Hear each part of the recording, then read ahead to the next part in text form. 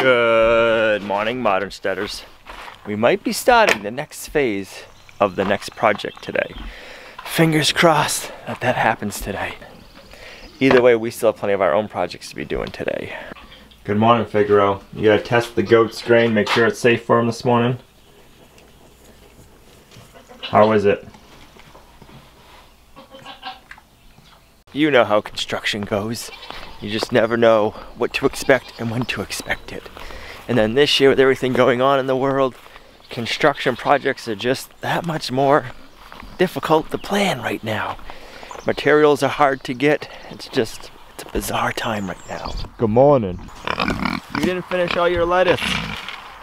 Want your grain? Put that over here. Ready? One, two, three.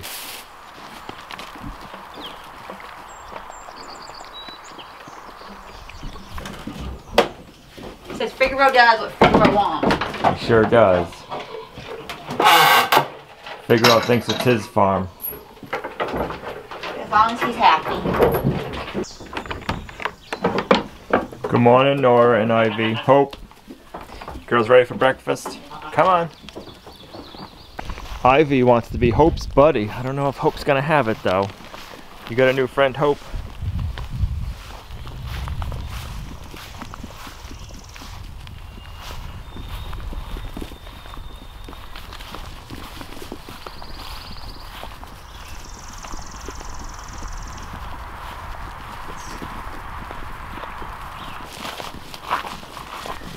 Gonna jump in the feeder first?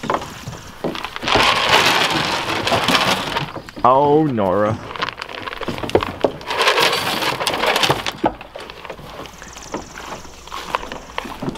Ivy, I haven't even put any food over here yet.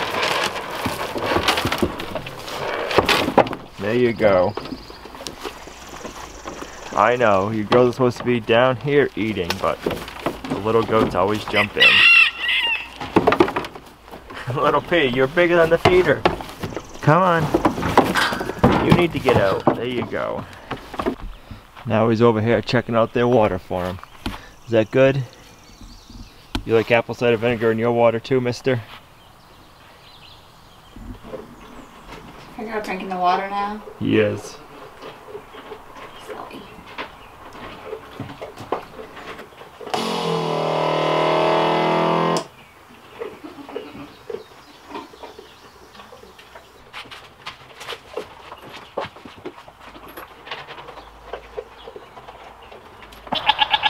Willow wants to go and see the breeding bucks.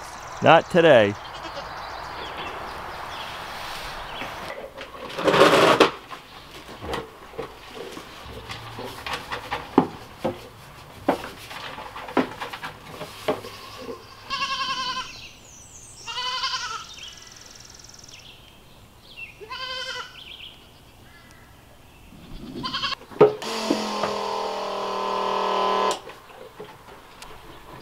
Here you go. Good job. Need some more food? You chickens liking it over here? I'll feed you down this way. I can't wait till they stop laying eggs. Huh, girls?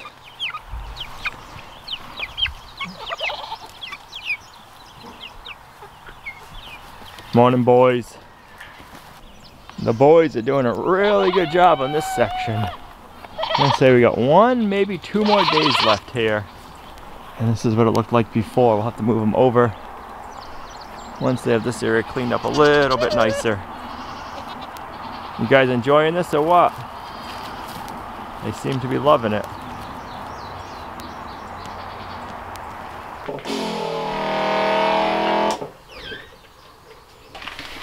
Look at that jar. She's so easy. So easy. That milk's not for you, Figaro. No, sir.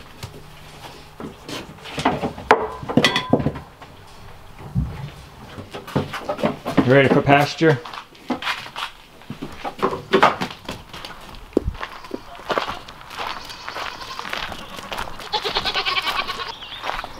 Everybody wants to sneak out and go see the breeding bucks today, so we had to use this gate.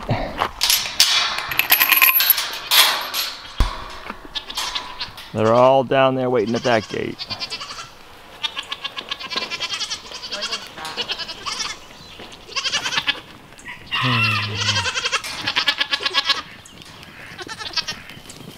Ivy found her mom.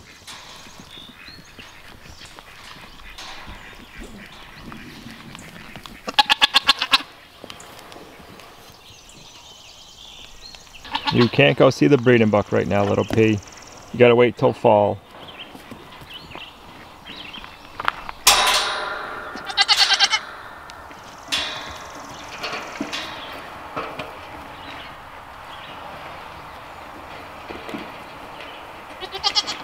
Need to drag our coop slash brooder up so when they do show up we're not in their way.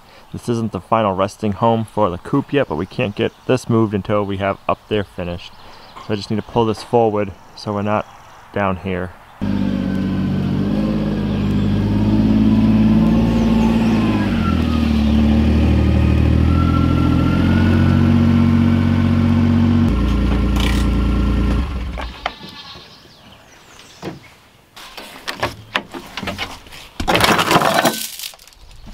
We haven't moved this coop since this winter and there was snow and ice everywhere. So it's gonna be interesting to see how it's gonna drag on the ground.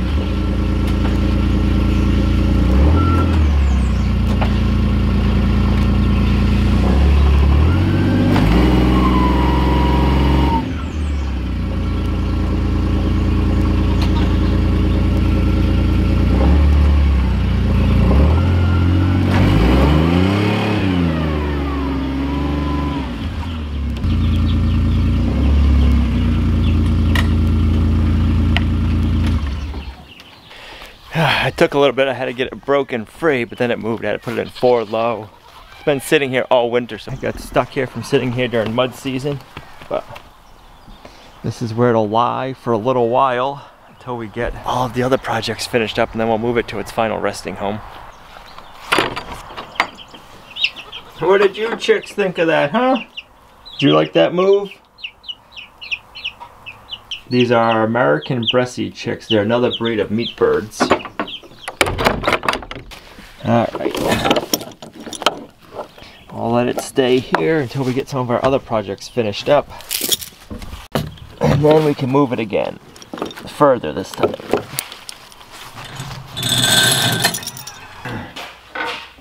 We have some Lodge cast iron pans and skillets. They come pre-seasoned, but they're really rough. I don't know if you guys have any Lodge stuff, but they're seasoned, but they're rough, and I don't, we don't have luck cooking on them this way. So about a year and a half ago, we did what we're gonna be doing today to a pizza skillet, and it works amazing. What we're gonna do today is we're gonna come in here, and we're gonna remove the old, new seasoning, smooth this out a little bit, and then re-season it. And it's gonna make a world of difference. You're gonna be able to slide everything on and off. It only takes about five to 10 minutes per item to sand them down. It's really quick and it's worth the time. So we have three we're gonna be doing today. First thing I wanna do is I wanna wipe them all down and get out any of the seasoning that's still damp. Get that off because what it's gonna do is it's gonna end up gumming up our sandpaper, which is fine, but the more we can get out right away, the less we gotta worry about our sandpaper gumming up. I'll just give everything a quick wipe down. Now we're not gonna be doing the outside, we're just doing the inside. Ooh, my thumb got stuck.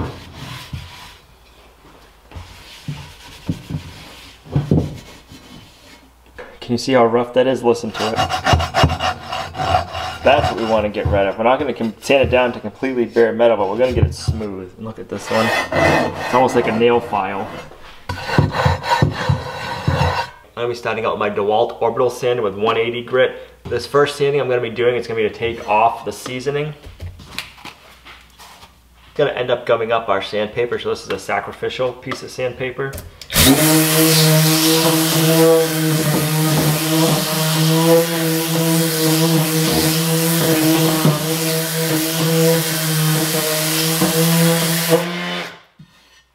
It's already starting to gum it up? We're gonna hit all of our pans with this.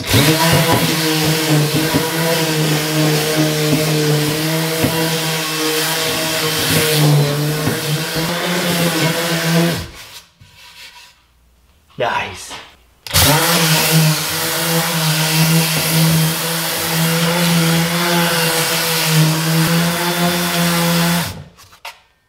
Bam. So this one we're gonna away. We'll start with a new piece. I'm gonna put some gloves on so I don't keep getting black hands. You can keep using an orbital sander with 180 grit or higher. Or if you have an angle grinder, I like using my angle grinder. It makes it just a little bit faster. And I'm gonna put a sanding disc on my grinder. I have these flap discs like we have for that goat trimming tool. That on.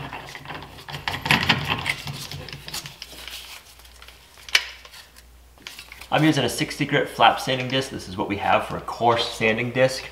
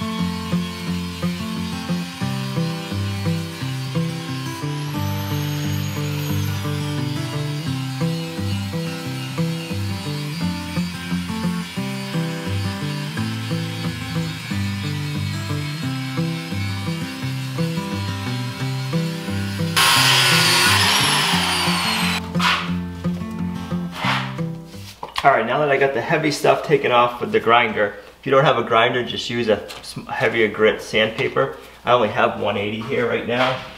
I'm gonna go back with the orbital sander with a fresh piece of 180 and resand it all nice and smooth. Making sure we get into all the corners nice and smooth so that way when it's seasoned, you don't have stuff getting stuck in your corners.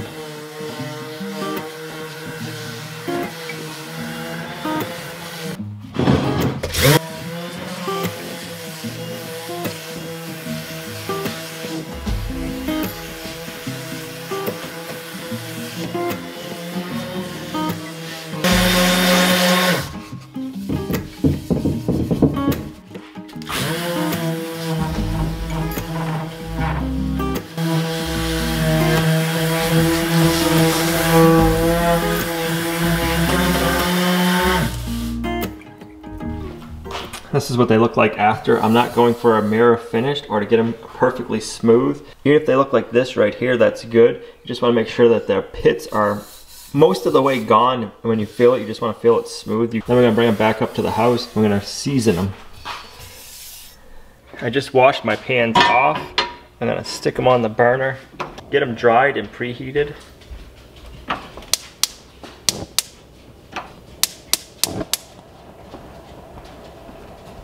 We have our oven preheated to 325. We want them warm, but we don't want them hot. We want the cast iron warm so it'll absorb the oil. I like using flaxseed oil. The way I can find it is in pill form. So I just cut the tops of the pills with scissors and then I just drop it on there.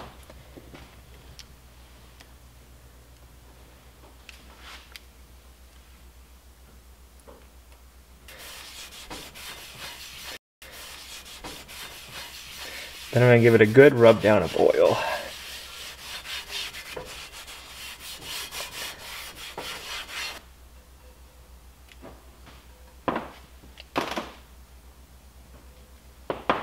Now the first time you apply oil to it after you sand it down is when it really needs a heavy coat.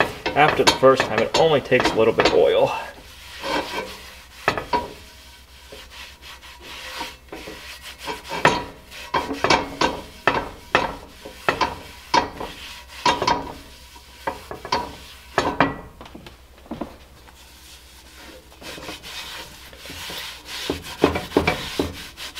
I like using a handkerchief, that way you don't have the lint of a paper towel getting stuck in everything.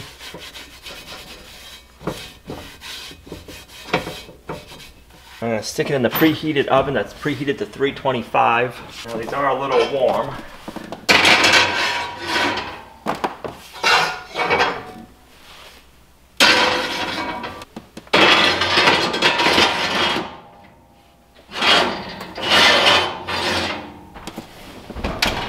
And I'm gonna set my timer for 40 minutes.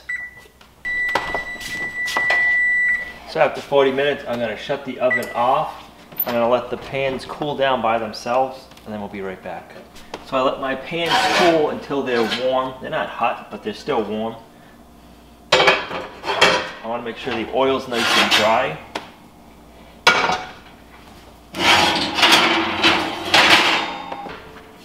I like doing a couple of pieces of cast iron at a time because it's a little bit of a process, but right now the oil is dry, it's not tacky, but the pans are still warm. If your cast iron's cooled off, warm it back up on the stove top like we did last time. I'm gonna grab a little bit more flaxseed oil. And our rag. Give them another good coat.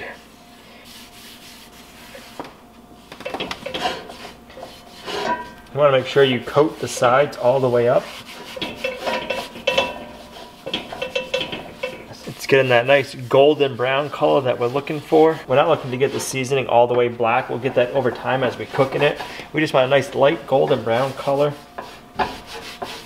And you can see they got a nice coat of oil on them again.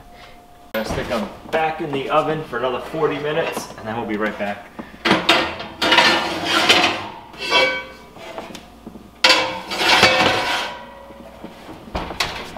Gonna go in and check out and see what's new or that needs to be taken care of in the greenhouse. See the temperature. You coming, Tiana? Let's see. See what the temperature is.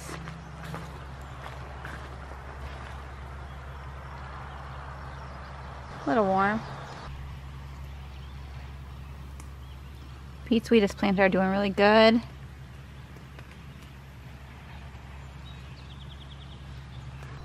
Think that's pretty neat. So you take the, pull the dead head off of here and then you get all those marigold seeds. Potato plants are doing really good, all flowered out. We have noticed a lot of cucumbers, little tiny cucumbers starting, but it doesn't seem like they're really growing. So um, I'm gonna try to self-pollinate today.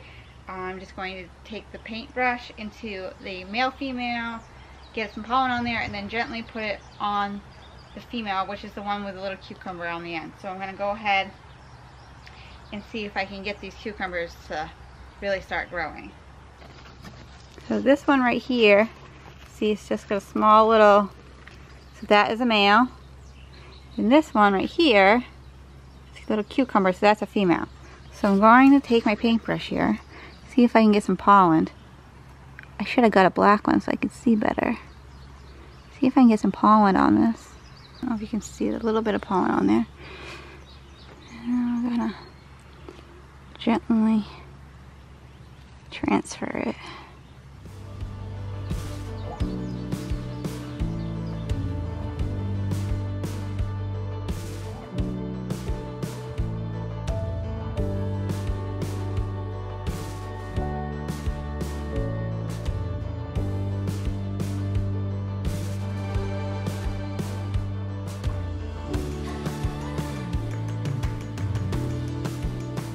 You picking a snack for the chickens, aka weeds? Chicken food. Chicken food.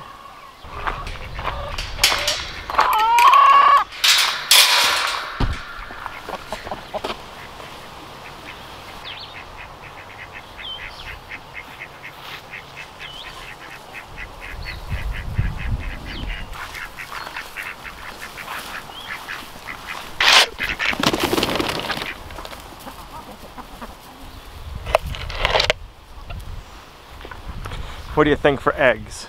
Mm, 10. 10? Uh, 12. I still like the number 14. How many eggs do you think today? I mean, I mean. One. Come on.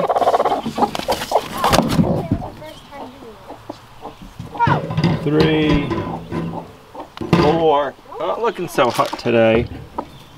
Five. Unless you're sitting on the mother load, which you could be. Six. A really crinkled one. So that means it was stuck in the egg laying port. That's six, seven, eight, ten, twelve.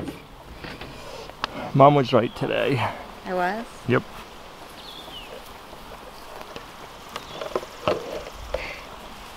She's getting too heavy. It's getting big, huh? Yeah.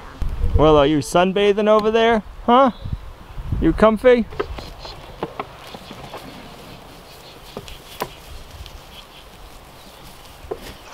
So they have showed up and started pushing some dirt around. We're taking this elevation down a little bit so it meets the same grade as here. So we'll have more of a driveway area down here. And then same with over here. And then we're gonna bring all this dirt and push it over here and flatten this area off for the next big project. Unfortunately, we gotta take the pumpkin plants out and that first row of corn. It's gonna be in our way. And he started working on getting this rock and he says it's just as big in the ground as it is out of the ground. Are you girls hungry? Huh? You're always hungry. Don't touch the fence. Ready? There you go. Oh, it's gonna be nice to have another flat spot right over here. It'll make more sense the further we get along in this project and what we're doing down here. What do you think we're adding over here? We got some pretty big ones, like right here's a monster. Look at this baby. I'm curious to see how long the taproot is. Woo-wee. Look at that thing. I guess I don't need these. Nope. How many beets do you think we need? Look at that taproot. There's a monster one right here on your side. Oh my goodness. Where did you come from?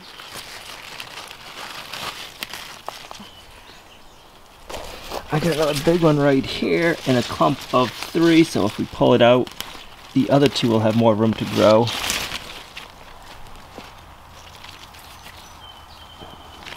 Got another big one right here. I think my voice just cracked.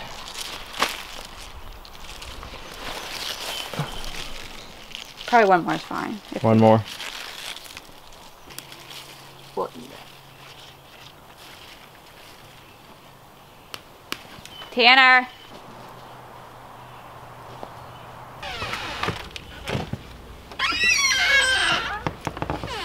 I ended up doing four coats of oil on these. We're going to be using this one to roast our beets tonight.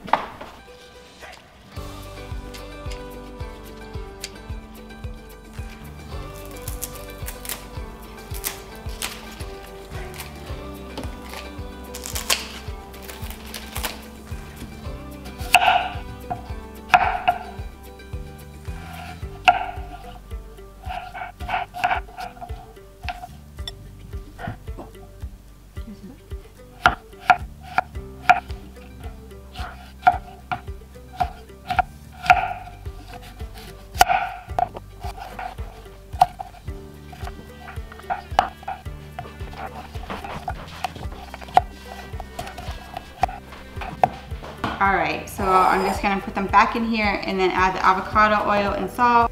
Avocado oil on my beets, some salt. This is Redmond salt.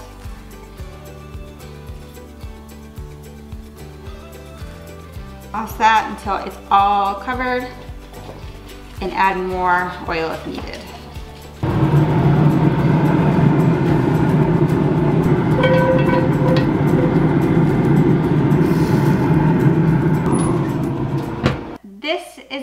Stock I made yesterday and I'm gonna use two cups of it to boil to do make my quinoa in, to boil the quinoa in. And then I'm going to get the rest into these jars and I'm just gonna do it to the fill here line so that way it has room to expand and the, and the glass doesn't break in the freezer. I haven't had any issues with that happening, but I do only go to the fill line.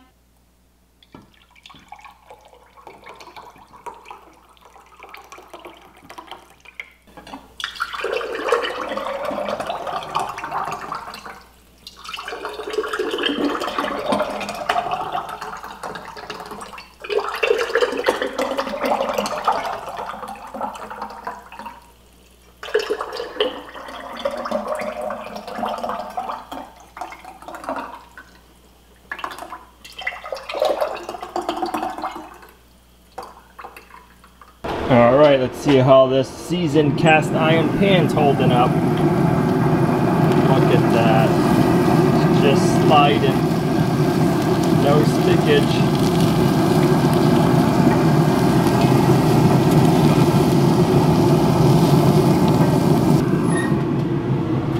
Now that's how a cast iron pan should work.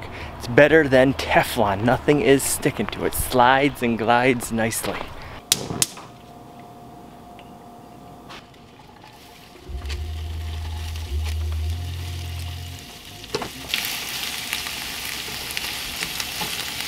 Oh, we got some pork chops on the grill. Man, they smell delicious.